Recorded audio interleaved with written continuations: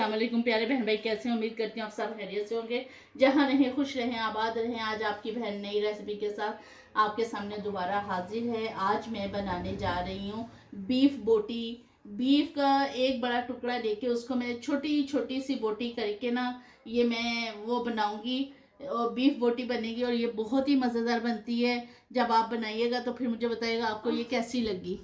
इसको बनाने के लिए जिन चीज़ों की ज़रूरत है वो ये है। वीडियो शुरू करने से पहले मेरी वीडियो को लाइक करें मेरे चैनल को सब्सक्राइब करें और शेयर करें। आप सब बहन भाइयों का बहुत बहुत शुक्रिया कि आप मेरी रेसिपी को बहुत ज़्यादा पसंद कर रहे हैं। आप सबके लाइक्स और कमेंट्स वगैरह सब मुझे मिल रहे हैं और मैं बेनतहा खुश हूँ। इसलिए मैं ये चाह रही हूँ कि आप सब बहन भाई के जितना भी हो सके मैं अच्छी से अच्छी रेसिपी लेके आऊँ। अच्छा ये वीडियो शुरू करने से पहले, सबसे पहले जो चीज़ें मैंने ली हैं वो ये हैं। ये मैंने दो किलो बीफ का टुकड़ा लिया था और इसको मैंने बिल्कुल बारीक बारीक ये देखें, इस तरह शेप में, इस फॉर्म में मैंने ये काट ली थी, खुद ही ये मैंने सारी काट दी थी।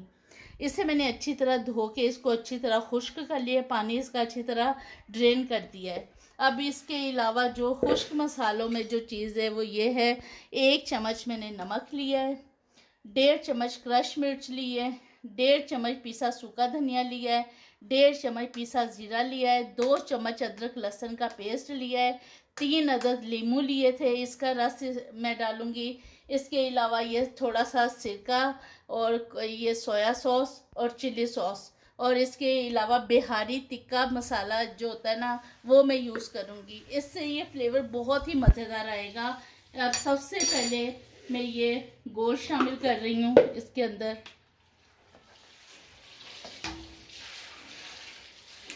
इसके बाद ये अदरक लहसुन का पेस्ट है ये शामिल करूँगी।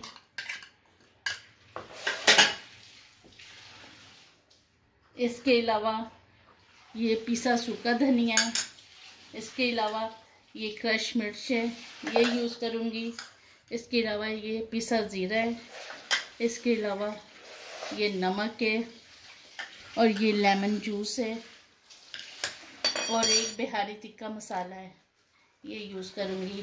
इसमें मैं कचरी पाउडर या पपीता वगैरह कोई चीज़ नहीं ऐड करूँगी क्योंकि ये मसाले में ऑलरेडी शामिल है।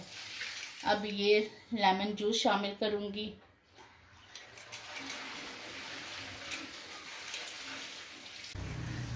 तीनों लीमू मैंने अच्छी तरह निचोड़ लिए हैं और ये एक चम्मच सिरके का यूज़ करूँगी।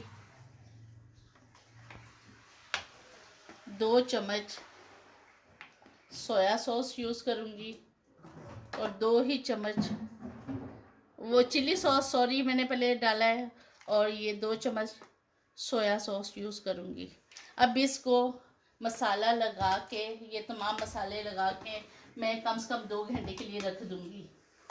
उसके बाद फिर मैं आपको बताऊँगी कि मैं क्या करूँगी।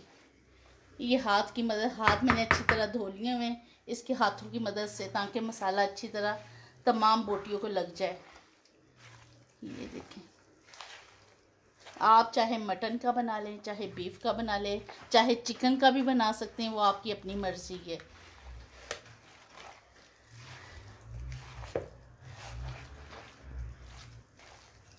मैंने लगा दिया, अब इसको दो घंटे के लिए फ्रिज में रख दूँगी। उसके बाद फिर मैं आपको बताऊँगी इसका क्या करना, मेरे साथ रहिएगा।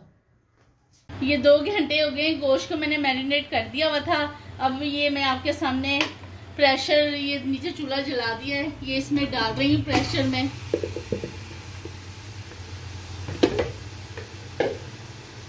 और ये दो गिलास पानी के डालूँगी। और पंद्रह मिनट के लिए इसको मैं वेट लगाऊँगी।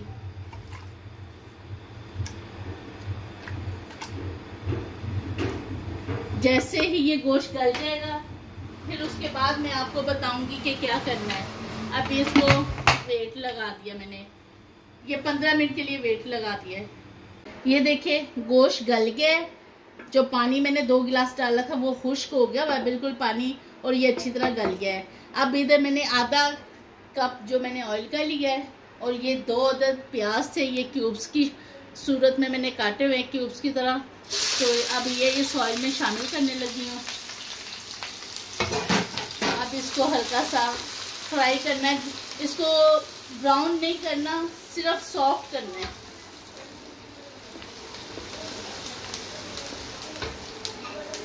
और ये एक चम्मच साबुत ज़ीरा लिया था। आठ से दस अदद ये साबुत मिर्चें लाल वाली। ये जैसे प्याज सॉफ्ट होता है तो इसमें मैं शामिल करूँगी।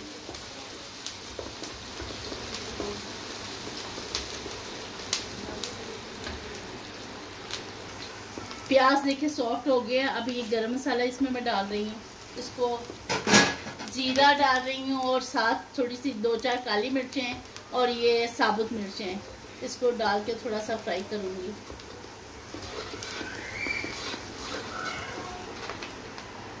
ये देखिए, ये सॉफ्ट हो गया। मैं नीचा, नीचे उतार के ये गोश्त इसमें सारा शामिल कर दूँगी।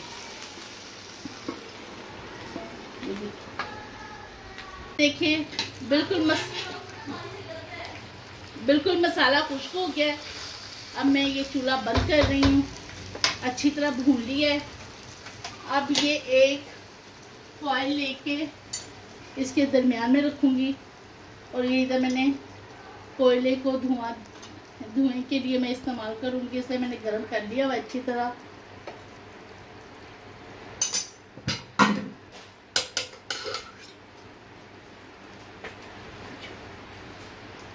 ये देखिए, ये इसके ऊपर मैं ढक्कन दे दूँगी ताकि अच्छी तरह धुआँ उसके अंदर चला जाए।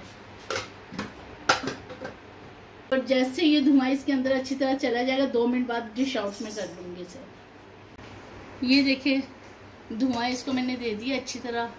अब आपके सामने ये प्लेटर में मैं निकालने लगी हूँ। इसमें ये बहुत ही मज़ेदार बनती है। आप बनाइएगा ज़रूर और फिर अपनी बहन को दुआ में ज़रूर याद रखिएगा। इसका टेस्ट बहुत मज़ेदार होता है।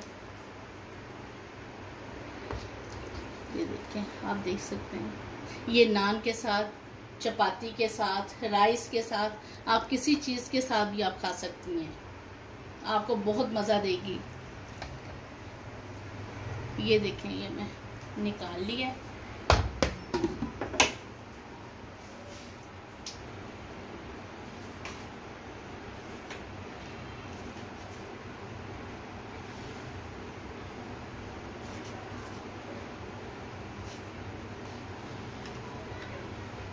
मुझे उम्मीद है मेरे बहन भाइयों को ये रेसिपी बहुत ही पसंद आई होगी। तो इन अगली नई रेसिपी लेके जल्द दोबारा हाजिर होंगी। अपनी बहन को दुआ में याद रखिएगा। कल तक के लिए अल्लाह हाफिज़ और लाइक करना ना भूलिएगा। आप सबकी दुआओं की मुंतज़र हूँ। कल फिर दोबारा मुलाकात होगी।